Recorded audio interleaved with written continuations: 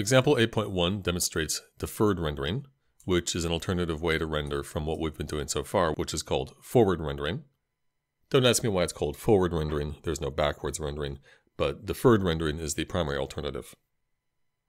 What we do differently in deferred rendering is that for each pixel, all the information needed to compute its lighting, we first render that information into off-screen buffers, and only once our geometry is rendered into these G buffers, these geometry buffers as they're called, only then do we combine them all in a rendering pass that does the actual lighting calculations.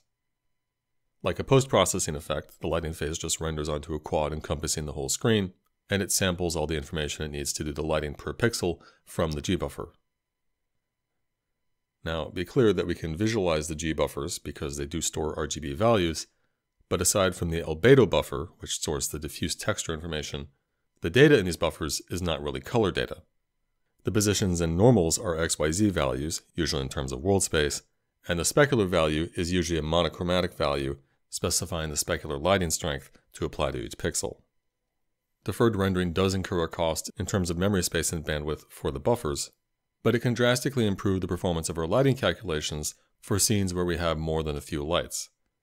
Firstly, in the case of overdraw, where multiple polygons overlap for a given pixel, well, in forward rendering, we end up doing the lighting calculation for all of those overlapped pixels, even though only the one on top is going to actually show up on screen. In deferred rendering, because we wait to do the lighting calculation until we know which pixel is going to be on top, then we're not wasting that work. But there are also techniques with deferred lighting that avoids doing the lighting calculation on pixels that are far enough away from the light that the amount of light contributed is insignificant. For a given pixel, ideally we'd only perform the lighting calculation for those lights that are in range of the geometric position of that pixel. So we'll discuss those techniques at the end. First though, looking at the code, we need to put together our G-buffer.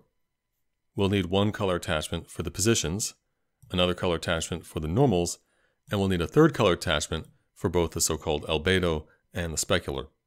Because the specular information is just a single value, we can give the texture an alpha channel and store the specular in the alpha channel. Note also that the normal and position buffers are RGB16F, 16-bit floating point, rather than the stock RGB. Firstly, because we don't want the values clamped into the range 0 to 1, and also we want 16 bits per channel rather than 8 so that we don't lose too much precision. So those are our color attachments, and we make sure to call draw buffers, specifying that we have three color attachments rather than just the default one. We set up a render buffer for the depth, as usual, and that is all we need for the G buffer. So now in our render loop, first thing we do is render into the G buffer, and on the C++ side that looks just like normal rendering. Our vertex shader is also doing nothing new, but then in the fragment shader, instead of frag colors output, we have G position, G normal, and G albedo spec. G position simply stores the fragment position we get from the vertex shader. G normal stores the normal we get from the vertex shader, though note we normalize, because the interpolation process may give us a non-unit vector. And then for the RGB of the albedo spec, that is the diffuse texture value, read from the diffuse map, and the alpha channel stores the specular value, read from the specular map. Now that we have all the information we need in the G-buffer, we can do our lighting pass. We're going to be sampling from the three color attachments of the G-buffer. We set up all the information we need for the lights and the camera, and then we render onto a quad that encompasses the whole screen, just like a post-processing effect. The vertex shader for this does nothing new, and then in the fragment shader, it's the same lighting calculation we've seen many times before, but now the frag position, normal, diffuse, and specular are sampled from textures. Note also that in this example, for every pixel, we're doing the full lighting calculation for every single light. We're sparing ourselves some extra lighting work in cases of overdraw, but for many pixels, we're still doing a lot of unnecessary calculations because for lights that are far away, the diffuse and specular values are going to be basically zero. So again, this is something we'll address, but for now we're doing the naive thing, simply doing the lighting for every single light. So this is how we get deferred rendering, but in our example here, it's only the nanosuits that are drawn with deferred rendering. These colored boxes denoting the position of lights, those are being rendered afterwards with forward rendering. We couldn't just render these boxes with our nanosuits because they're using a different shader. This is a key disadvantage of our deferred rendering. In the lighting pass, we're using just one shader to draw everything. And so we couldn't, in this example here, draw these solid color boxes in the same shader. Another problem is we can't draw transparent surfaces in deferred rendering because that requires drawing back to front and blending with each layer. In deferred rendering, we can't do any blending. So the solution to both these problems is we can do a forward rendering pass on top of our deferred rendering, and that's what we're doing here. After the lighting pass, we're drawing these solid color boxes, and to do so, we're going to need to copy the G-buffer's depth buffer to the default frame buffer, which we're going to do our forward rendering into. So here we bind the G-buffer for reading, we bind the default frame buffer for drawing, and then we call glblit frame buffer, which does the actual copy, specifying the rectangular dimensions of what we're copying, specifying that it's the depth buffer we want to copy, and specifying that we want nearest neighbor filtering rather than bilinear.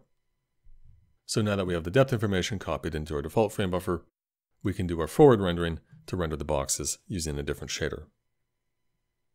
Now, if we want to cut down on the lighting calculation work, the obvious thought is that for every light we compute a max radius beyond which it has no effect. Generally, we would base this radius on the color of the light and, and calculate the distance at which that light attenuates to some minimum threshold color and consider that the cutoff distance. But anyway, for every light, say we have some radius. Well then, when we do our lighting calculation for every pixel, we can simply check if the world position of that fragment is greater than the max radius distance of the light, and if so, then we can just skip the lighting calculation. Unfortunately though, this obvious solution doesn't give us all that many benefits because in a GPU you have many cores, typically 64, all executing the same path through code, such that for an if statement in code, only when the condition is false for every single core is the branch skipped over.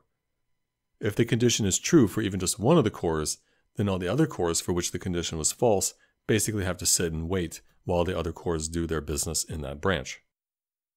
So with the solution, for many pixels, in many cases they're going to end up effectively doing all the computation work for lights, even for lights of which they are not within the distance of the radius. There will be cases when we get lucky and all the cores are processing pixels that happen to be outside the radius, and so the computation for those pixels for that light is skipped, so the solution may give us some benefits, but is far from optimal. So one idea to cut down on wasted lighting work is to compute a bounding sphere for each of our point lights. Instead of rendering to a full screen quad, we can then render onto these spheres, but when a sphere is rendered, you only do the calculations for the light associated with that sphere, not for any of the other lights. And we make sure that the blending mode is additive, so that when a pixel is rendered onto multiple spheres, the diffuse and specular lighting calculations accumulate, and then as a last pass, we apply the ambient factor onto a full screen quad. With this technique, we should make sure to cull back faces, otherwise for each light, we would be rendering each pixel twice. The problem then arises though for cases where the camera is positioned inside a sphere, which can happen depending upon the position and radius of a light. In that case then, when back faces are culled, the light wouldn't be rendered at all. There is a fix for this problem involving the stencil buffer, but actually there's a better alternative anyway called tiling. We won't go into the details, but the general idea is very simple. We split screen space up into tiles, and we also compute the bounding boxes of all our lights in terms of screen space. For each tile, we then see which light bounding boxes overlap that tile, and that is the set of lights we use for the pixels of that tile. In this visualization, the scene in the top left is colored to show how many lights are hitting each point. In the bottom right, the scene is split up into small tiles. The lighter the tile, the more light bounding boxes intersecting that tile. So with this tile-based light culling, which I believe is the predominant way to do deferred rendering these days, it actually becomes practical on modern hardware to render not just a handful of lights, but dozens, hundreds, even into the low thousands. Keep in mind though that deferred rendering does have significant costs in terms of memory usage and bandwidth, and so it's generally still not appropriate for lower tier hardware, particularly mobile. Even on high-end hardware, if you're not going for a realistic rendering look, you still might prefer forward rendering. Though it should be clear it mainly comes down to your use of lights rather than the aesthetic. Overwatch, for example, has a cartoony look, but they still use deferred rendering.